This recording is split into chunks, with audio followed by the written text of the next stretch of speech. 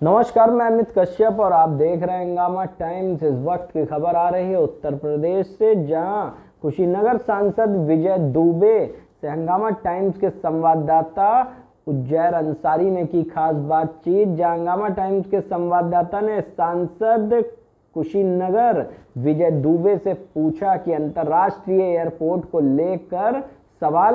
आइए डालते हैं उनकी एक विशेष रिपोर्ट पर नज़र, उनके तीखे सवालों पर कुशीनगर सांसद विजय दुबे से खास बातचीत पर।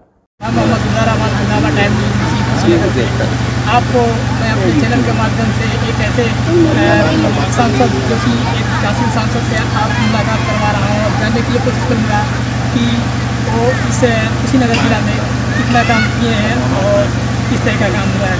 तो सबसे पहले अ, सांसद जी मैं अपने चैनल के माध्यम से आपका स्वागत करते हैं और ये जानने की कोशिश करते हैं कि अपने कुशीनगर में जो एयरपोर्ट का कार्य कितना दिनों से हो रहा है।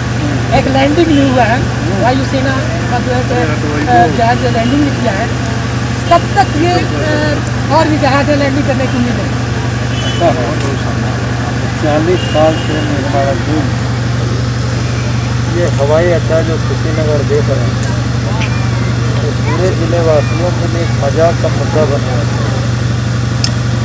सरकारें आए दो इंचा रस्ते चले जाते लेकिन हम लोग जब सदन में पहला दिन कदम रखते उस दिन से लक्ष्य था कि पहला विकास विस्तार होगा। कुशीनगर से लिए वो इस एयरपोर्ट को अंतर्राष्ट्रीय हवाई अड्डा का दर्जा ही नहीं, बल्कि कार्य को कार्य को पूर्ण कराना। दो साल के अपने कार्य क्षेत्र में। अगर देखें तो एक साल कोरोना के भेंट चढ़ गया। क्या किसान, क्या व्यापारी, क्या उद्योगपति, क्या छोटे दुकानदार, क्या सरकारें, क्या शिक्षण संस्थान। सबने नुकसान उठाया है, क्योंकि सब पर तालाबंदी है फिर भी इस विषम परिस्थितियों में भी आज एयरपोर्ट के एक ए से लेके जेड तक कार्य पूर्ण हो चुके हैं। अगर ये कोरोना का दूसरा लहर एक आध महीना और अगर बाद आया होता तो मैं समझता हूँ एक भव्य उद्घाटन हुआ होता और कुशीनगर का नाम उसी दिन पूरे दुनिया से मानचित्र पर अंकित हो गया होता। खैर फोर लेन कनेक्टिविटी देख रहे हैं आप। युद्ध स्तर पर काम हो रहा है, जब पंद्रह दिन में बंद के पूर्ण हो। जाए बाकी आंतरिक एयरपोर्ट के सभी कार्य पूरे हैं।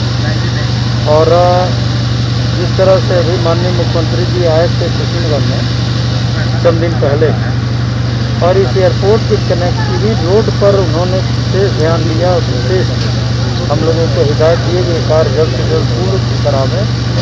उससे लगता हमें कि इसका उद्घाटन बहुत है। सर ये बता दीजिए आने वाला जो विधानसभा चुनाव है उस संबंधित आप हमारे चैनल माध्यम से चैनल माध्यम से अपने क्षेत्रवासियों को क्या संदेश देना चाहते हैं? यार इस समय जब विषम परिस्थितियों में लोगों की जाने जा रहा हूँ कोरोना से तो हम लोग चुनाव अभी तक तो एक राजनीतिक क्षेत्र में है सामाजिक क्षेत्र में है तो चुनाव में भाग लेना है लेकिन 10 साल अपने सामाजिक जीवन के बाद हम लोग चुनाव लड़ने का पार्टी ने ज़रूरत समझा तो लड़ाया चुनाव हम लोग का लक्ष्य नहीं है। इस समय तो यही संदेश देना चाहते हैं, क्या युवा 18 साल से ऊपर हो या 45 साल से ऊपर के बुज़ुर्ग हों?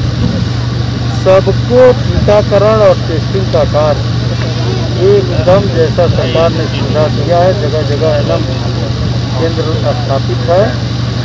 पर जाकर टीकाकरण करावें ताकि कोरोना से हम लोग उबर के जब जान रहेगा तब जहान रहेगा।